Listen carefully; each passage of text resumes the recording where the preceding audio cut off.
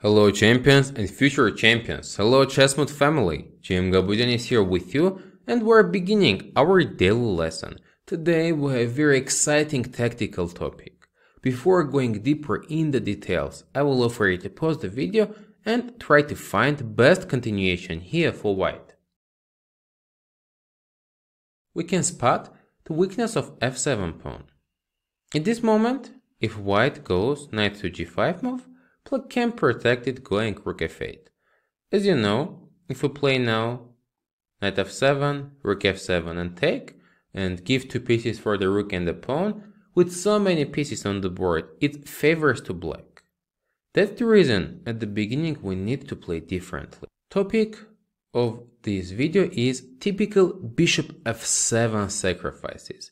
Let me mention that in previous daily lessons we had the same topic with the sacrifice of the knight as well.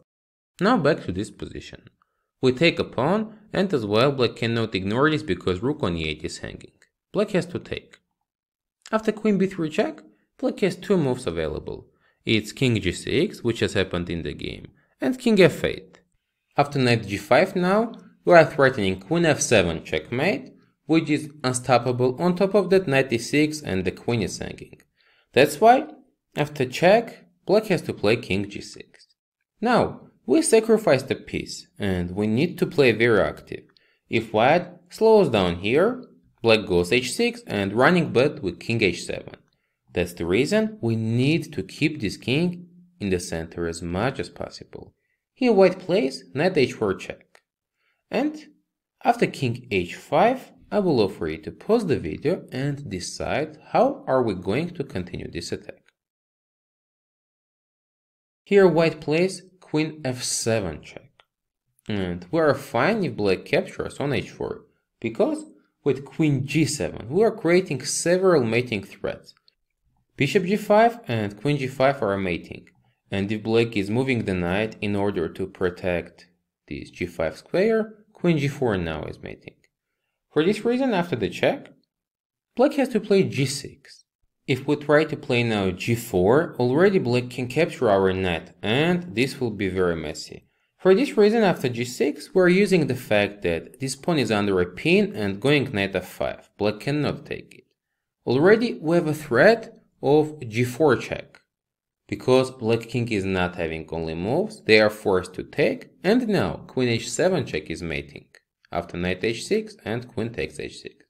For this reason, after knight f5, Black here goes rook h8 and is protecting pawn on h7. I offer you to pause the video here and try to figure out the last and very beautiful move for white. Here white, instead of creating a threat with the queen, is destroying the knight, queen f6. Idea is that after bishop f6, g4 is a very beautiful checkmate. Otherwise, after takes, if black is ignoring it and capturing the knight, we are mating with queen h6 move in this position. Bishop f7 is a very dangerous tactical option, happening very often in chess game. I offer you to go and see the next example. Let me tell you that this one is super exciting example and my favorite one with bishop f7 tactical ideas. Now you know what we're looking for and I offer you to pause the video trying to calculate bishop f7 move in this position. Let's go on. We take, as we know black cannot ignore this because the rook is hanging, black has to take and queen b3 check. The main move which we are going to see is king e7, but king g6 is also an option and we need to know how to play here. If you haven't seen it previously, once again you can pause the video and try to calculate. It's leading to an unavoidable checkmate after knight h4 check, king h5 and queen d1 check. Black king has no options but capturing our knight, and now the most aggressive piece is joining the game, king h2, creating g3 mating threat. Funny thing is, black cannot prevent it. As you know, it's a checkmate threat, bishop and queen are controlling the other squares.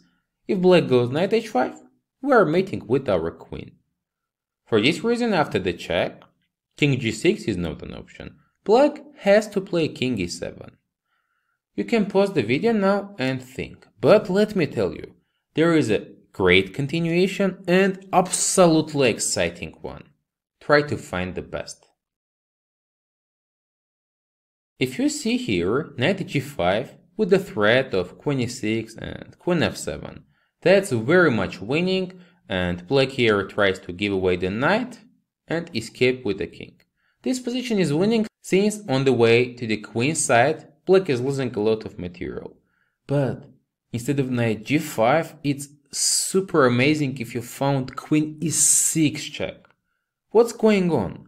White is giving away the queen only to bring opponent's king to e6 square and make knight g5 check at tempo. The reason we're doing this is that after king e7, we play knight d5 check. Now it would be a beautiful checkmate with the knights if there is no knight on f6. Black has to take, and now rook f7 is absolutely fascinating checkmate.